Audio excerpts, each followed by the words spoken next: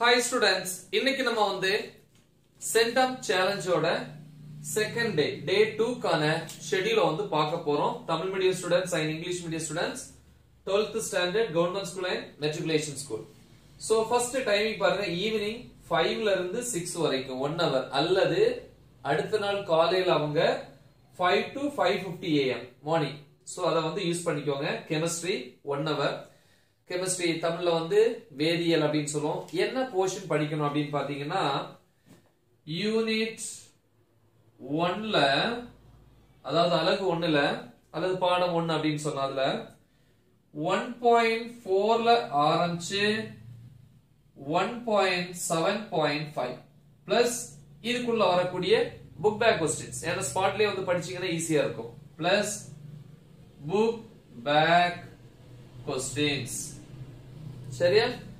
அடுத்து six to six ten PM ten minutes வந்து break evening six ten to seven thirty PM mathematics அதாவது கணிதம். அதாவது one hour and twenty minutes one point two zero hours கொடுத்துருக்கிறேன். So அதுல வந்து மேக்ஸில் எவ்வளோ நம்மளால படிக்க முடியும்? அப்படின்னு பாத்தீங்கன்னா ஃபர்ஸ்ட் சாப்டர்ல exercise exercise one point one ஒன்ல சாரி ஒன் பாயிண்ட் ஒன்ல ப்ராப்ளம்ஸ் வந்து லெவன் டு பிப்டீன் எக்ஸசைஸ்னா பயிற்சி கணக்குகள் அப்படின்னு சொல்லுவோம் கரெக்டா அடுத்து எக்ஸாம்பிள் எக்ஸாம்பிள் அப்படின்னு எடுத்துக்காட்டு.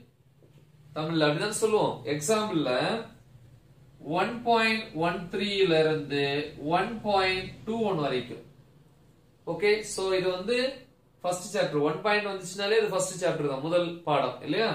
ஓகே அடுத்து அதே இதுல வந்து எக்ஸசைஸ் எக்ஸசைஸ் அப்படின்னு பயிற்சி. சோ எக்ஸசைஸ் ஒன் பாயிண்ட் டூல ஒன் அண்ட் டூ ரெண்டு கணக்கு ஐ மீன் ரெண்டு ப்ராப்ளம் மட்டும் ரெண்டு சம்மு மட்டும் ஓகே சோ இது வந்து ஒன் ஹவர் அண்ட் டுவெண்ட்டி மினிட்ஸ்ல நீங்க கம்ப்ளீட் பண்ண வேண்டியது. கரெக்டா தான் பிரிச்சு கொடுத்துருக்கிறேன். ப்ராப்பரா பிராக்டிஸ் பண்ணுங்க. Next seven thirty to eight PM night வந்து ஆஃப் அன் அவர் வந்து சாப்பிடுற time dinner eight to nine PM one hour physics physics one hour கொடுத்துருக்கிறோம். அதாவது இயற்பியல்.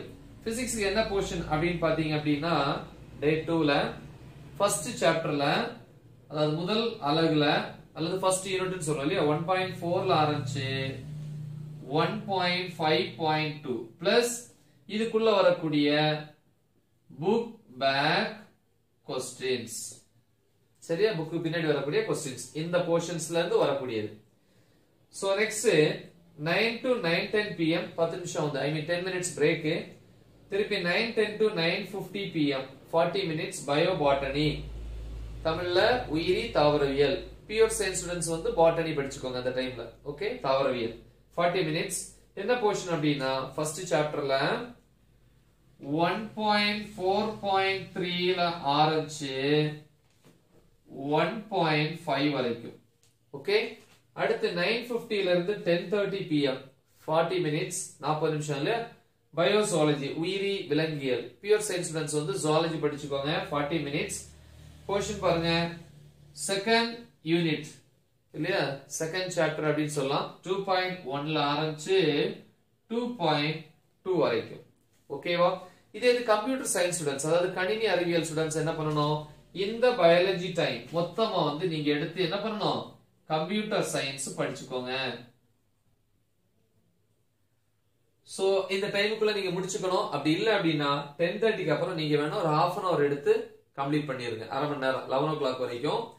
ஸோ நெக்ஸ்ட் அடுத்த நாள் காலையில வந்து ஸ்கூல் போர்ஷனை வந்து ரிவைஸ் பண்ணிட்டு ஸ்கூலுக்கு போங்க. ஓகே ஸோ நல்லா ப்ரிப்பேர் பண்ணுங்க. மறக்காம இதை உங்க ஃப்ரெண்ட்ஸுக்கும் ஷேர் பண்ணுங்க. All the best thank you